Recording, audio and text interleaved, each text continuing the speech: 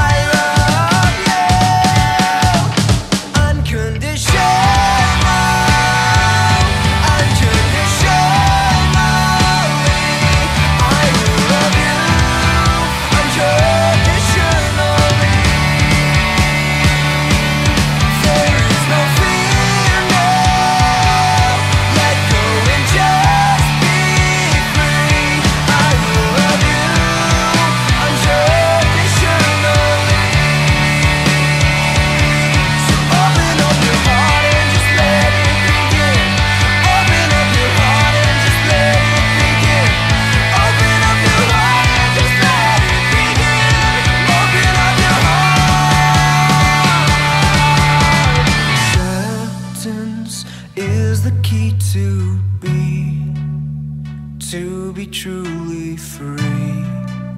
Will you do the same for me?